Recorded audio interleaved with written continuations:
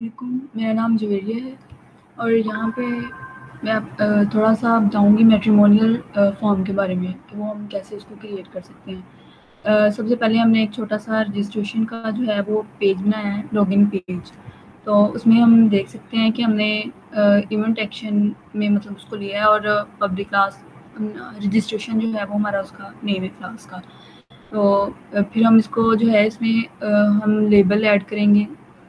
और text field add करेंगे और पासवर्ड का हम इसमें ऐड करेंगे। यहाँ पे हमने जो है, वो जे लेबल लिया है यूज़र नेम और इसमें हम देखेंगे कि हमने इसके जो है, वो सेट कर दिया है बाउंड को।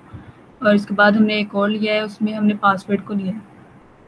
यहाँ पे हम अपना जो है, वो पासवर्ड एंटर करेंगे। और इसके बाद एक बटन लगाया है हमने लॉगिन इसके बाद फाइनल जे टेक्स्ट फ़ील्ड है। इसमें हम अपना जो है, वो टेक्स्ट फ़ील्ड जो है, वो हमने ऐड की हुई है यूज़र नेम और पासवर्ड के सामने। तो हम देखेंगे कि वो कैसे जो है इसमें वो वर्क करेगा। और इसके साथ फिर हमने यहाँ पे एक्शन लिसनर को भी लिया हुआ है, ताकि जो हमने एंटर किया हुआ है, उसकी आउटपुट हमें शो हो। तो यहाँ पे हम इसको रन करेंगे अभी।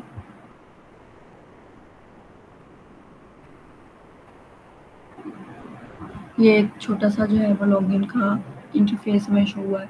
यहाँ पे हम यूज़र नेम एंटर करेंगे। अपना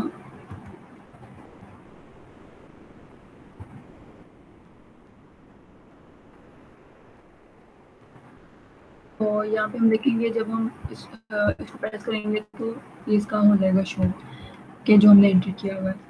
इसी तरह एक एक छोटा सा जो है वो मेट्रीमोनियल का है वो भी सेम वैसा ही है जैसे हमने रजिस्ट्रेशन करना है।